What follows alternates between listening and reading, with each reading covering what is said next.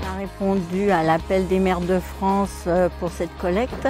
Ça semble tellement évident que devant euh, ces souffrances, cette guerre euh, qui n'a pas de nom, de réagir, qu'il y a eu un élan et de la population qui était demandeuse, qui a offert ses services et, la ville a forcément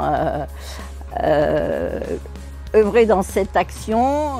Euh, on a eu la chance de trouver ce grand local mis à disposition qui a facilité les choses. Et puis tout s'est enchaîné, un grand élan de, bénévoles. à peu près 70 personnes se sont proposées pour collecter. Donc là, nous sommes là lundi, mardi, mercredi. Nous attendons les, nous réceptionnons les dons tous les après-midi.